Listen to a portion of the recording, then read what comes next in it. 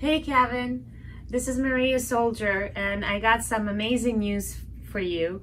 Uh, we just received a collection back from Neiman Mar Marcus just on Friday and I wanted to personally thank you for doing an amazing job in helping us get our pieces back as well as uh, for your impeccable reputation.